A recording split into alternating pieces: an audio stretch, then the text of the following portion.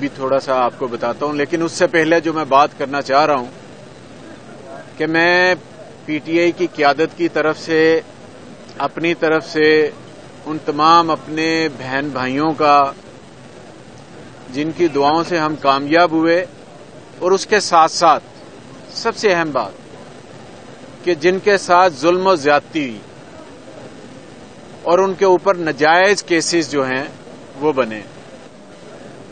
मैं उनके साथ इजहार हमदर्दी करता हूँ। जिस किसी ने कोई जुर्म किया है, उसको उतनी सजा ज़रूर दी जाए। लेकिन अगर किसी ने कुछ नहीं किया तो उसके ऊपर नजायज केसेस ना बनाए जाए? जिसने जो जुर्म किया है, उसको सजा दी जाए। जिसने कानून को हाथ में लिया है, उसको सजा दी जाए। मैं पहले भी कई दफ़ा अपने केसेस के बारे में बात कर चुका हूँ कि मेरे ऊपर जो केसेस बनाए गए हैं, जिना हाउस के बाहर का, मैं बार बार कह चुका हूँ, मैं आज भी मीडिया के तवस्त से सबको कह रहा हूँ कि जो मेरे ऊपर केसेस बनाए गए हैं, आप मुझे कहते हैं कि मैं 9 मई में, लबट्टी में भी था, मैं अस्करी विला पे भी था, प्लाजा को आग लगाने में भी था, मैं जिना हाउस के बाहर बंदे कत्ल करने में भी था, मैं फैसलाबाद में भी था, मैं हर जगह पर था। तो मेरी सिर्फ़ एक इल्तजा है। जब मैं ओन ओथ कह रहा हूँ, अल्लाह ताला को हाजिर नाजर जान के कह रहा हूँ कि मैं सात मई को एटीसी कोर्ट लाहौर से बेल करवाने के बाद मैं लाहौर से चला गया था और मैंने वजूहत आपको बताई है, मैं क्यों गया था? कि मेरी बेटी की शादी थी और उस सिलसिले में मैंने इनविटेशन देने थे और कुछ इंतज़ाम थे जो करने थे, मैंने आपको बता चुका हूँ। और मैंने मैंने आपसे कहा कि कहीं पर गुलबर्ग में लिबर्टी में अस्करी प्लाजा पे, मेन बुलेवार्ड पे, कैंट में, जिना हाउस के बाहर, मेरी कोई CCTV footage safe city camera की फुटेज सोशल मीडिया की फुटेज कोई मेरे नारे लगाती हुई फुटेज कहीं पर क्यादत करते हुए मेरी फुटेज किसी से बात करते हुए मेरे फ़ोन नंबर से उसकी की कॉल कोई एक चीज़ बता दो। आज बेशुमार केसेस मेरे ऊपर किए गए हैं और तमाम की मैंने आज प्रोटेक्टिव बेल यहाँ से ऑनरेबल पिशावर हाई कोर्ट से ली और मैं जजिस का ऑनरेबल जस्टिस साहबान का शुक्रिया अदा करता हूँ कि उन्होंने बड़ी मेहरबानी की। मैं सिर्फ़ ये कहता हूँ कि इंसाफ का बोलबाला करें, किसी को खुश करने के लिए किसी को ये ना करें। हम पूरा मन शहरी हैं, ये अदारे हमारे हैं, पूरी ज़िंदगी हो गई, पच्चीस साल हो गए, ये मेरा छठा इलेक्शन है। पच्चीस साल हो गए मुझे पॉलिटिक्स करते हुए इलेक्शन लड़ते हुए। उनतालीस साल मेरा सियासी करियर है, उनतालीस साल सियासी करियर है। एक सियासी वर्कर हूँ गली मोहल्ले का।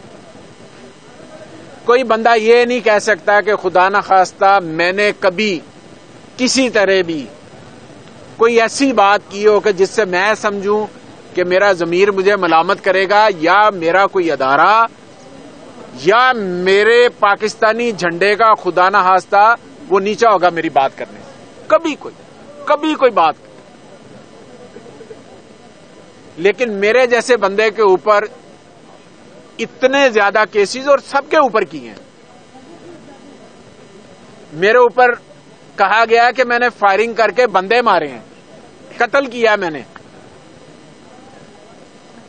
जिसने अपने उनतालीस साल करियर में किसी को किसी को ओए तोए तक नहीं करने वाला। आप अंदाज़ा लगा लें। दूसरी बात, इस इलेक्शन ने, जर्नल इलेक्शन ने एक चीज़ तो साबित की है। वो ये है जो पूरे पंजाब के अंदर या बाकी जगहों पर इलेक्टिबल्स इलेक्टिबल्स होता था, वो तमाम चीज़ें इमरान खान के नैरेटिव ने वो चीज़ें खत्म कर दिए दफन कर दी सिर्फ़ एक वोट है इमरान खान का, इमरान खान के नज़रिए का, उसके बयानिए का। लोगों ने वोट दिया, मेरी रिक्वेस्ट है कि उस वोट का, उस मैंडेट का एहतराम किया जाए। आप आप उस मैंडेट का जो लोग आ रहे हैं, रात हमने तीन बंदों की प्रेस कॉन्फ्रेंस सुनी, जो तीनों आपस में एक दूसरे की करप्शन के दिल दादा हैं, जो एक दूसरे की करप्शन के बारे में बातें करते हैं, जब इलेक्शन आ जाते हैं। लेकिन जब इलेक्शन जाते हैं तो फिर इकट्ठे हो जाते हैं। रात आपने उनकी शक्लें देखी हैं? किसी शक्ल के ऊपर कोई रौनक हो, कोई आपको एहसास हो कि यार ये हमारे हुक्मरान है। आपको वो हुक्मरान नज़र नहीं आएँगे। वो वारदाती है वारदाती है। हुक्मरान वो होते हैं जो अवाम में से हो, अवाम की बात करें। ये अवाम में से नहीं है। इन्होंने तो मैंडेट चोरी किया है। इन्होंने जो 45 फार्म जो 45 था, उसको रद्द कर दिया और सैतालीस जारी करवा लिया। चलो आप जाओ इलेक्शन ट्रिब्यूनल में जाके फिरो, ये मेरा भाई साथ बैठा हुआ है।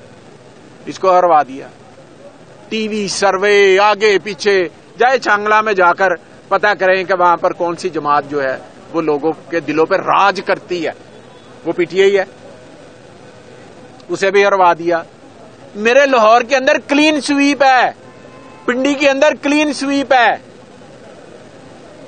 कौन सी कौन सी ऐसी जगह पर है जहाँ पर जहाँ पर पीटीआई के बंदे हमायत याफ्ता नहीं जीते? लेकिन फार्म 45 को बदलकर सैतालीस जारी कर दिया गया, चलो भी जाते रहो। खुदारा अवाम के मैंडेट का एहतराम करें। हमारे ऊपर ये मसलत ना करें। ये आजमाए हुए हैं, ये पीडीएम टू आ रहा है। अवाम को कोई रिलीफ नहीं है। दिन ब दिन अवाम जो महँगाई के घड़े में जाएगी, गरीब आदमी दो वक्त की रोटी नहीं खा सक रहा। लोगों ने अपने बच्चे स्कूलों से उठवा लिए हैं। घरेलू खवतान ने अपने जेवर बेचकर बिजली के और गैस के बिल अदा किए हैं। घर का राशन डाला है। और ये पीडीएम की तरफ़ से फिर पीडीएम टू हम पे मसलत है। इन्होंने 16 माह में क्या कुछ नहीं किया जो अब करना है? जो नहीं कर सके। हर चीज़ तबाह कर दी। हर चीज़ तबाह कर दी।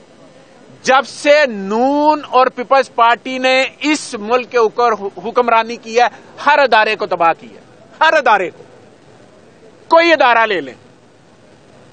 कोई एक अदारा। ऊपर से लेकर नीचे तक।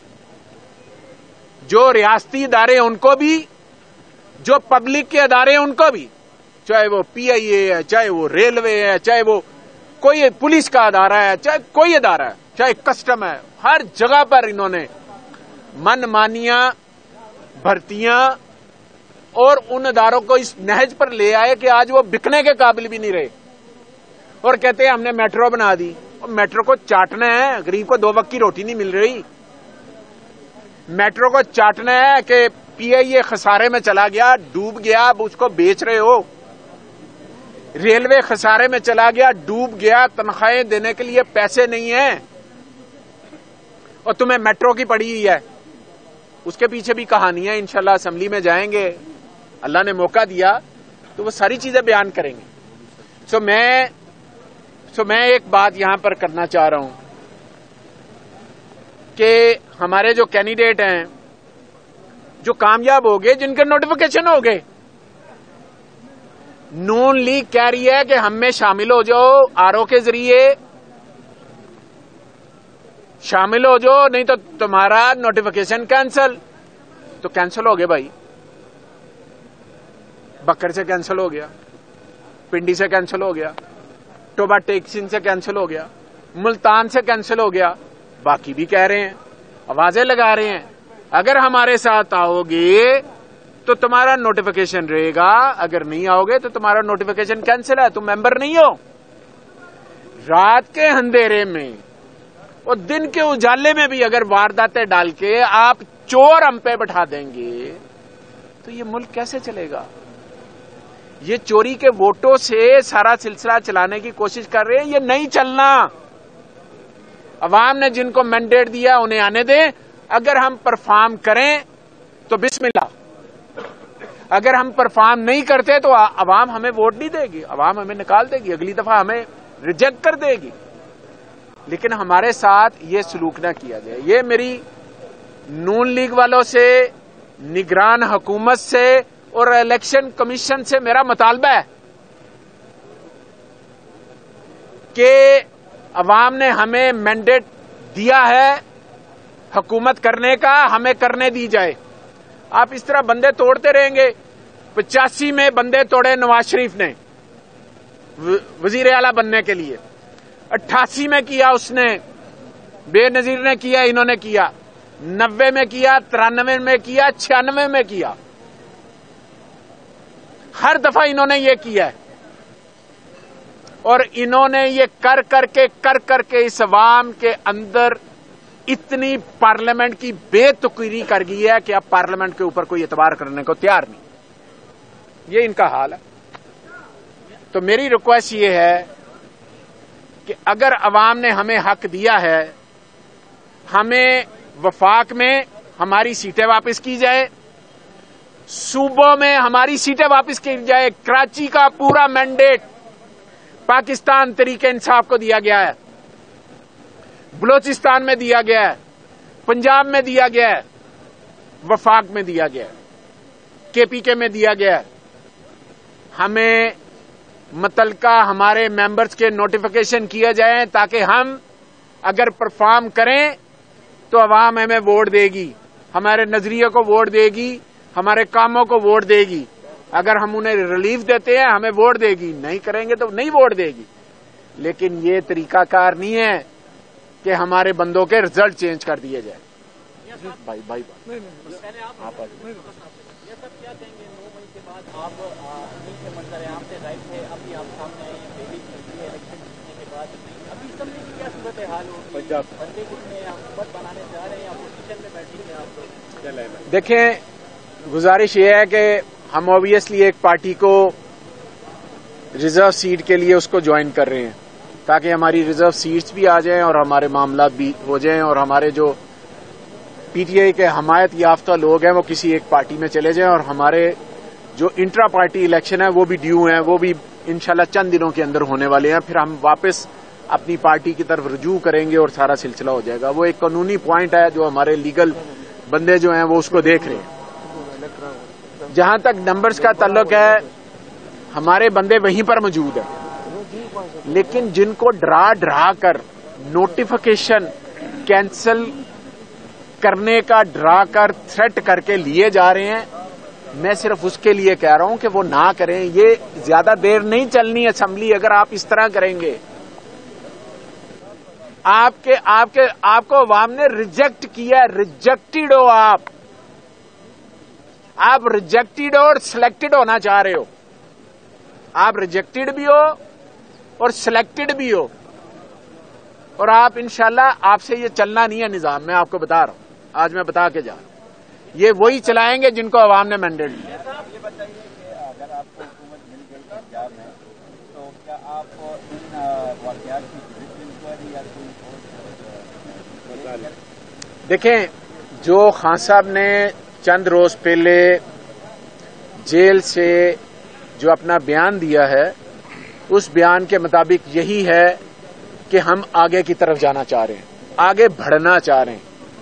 रही जो जुल्म ज्यादती जो हुई है, बिल्कुल उस पर जुडिशियल कमीशन बनना चाहिए वो अदालत का काम है कि फैसला करे किसी ने जुल्म किया है या नहीं। किया हम पर्सनली किसी के साथ विंडिक्टेड नहीं होंगे। हम पर्सनली किसी के साथ नहीं होंगे। हाँ जो जुडिशियल कमीशन बने उसके अंदर जो फैसले हों वो फैसले इंप्लीमेंट हो हमारा किसी से जाति कोई नहीं है।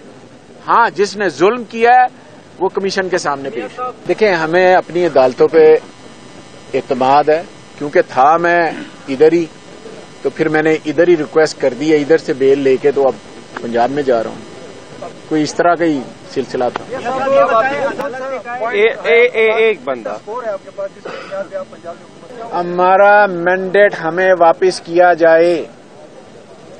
हमारा मैंडेट हमें वापस करें। कराची के शहरियों ने पीटीआई को मैंडेट दिया है, पंजाब के लोगों ने पीटीआई को मैंडेट दिया है, सिंध के लोगों ने पीटीआई को मैंडेट दिया है, बलूचिस्तान के लोगों ने पीटीआई को मैंडेट दिया है। हमें हमें हमें हमारे मेंबर्स दें हम मांगे तांगे के बंदों से असेंबली में नहीं बनाना चाहते भाई। हमने अवाम ने हमें खुलकर वोट दिए। तो हमें वो काम करने दिए जाए। लेकिन ये नहीं है कि आज की तारीख तक रिज़ल्ट चेंज हो रहे हैं, आज की तारीख तक फॉर्म छप रहे हैं, आज की तारीख तक बैलेट पेपर छप रहे हैं, आज की तारीख तक हर चीज़ चेंज हो रही है।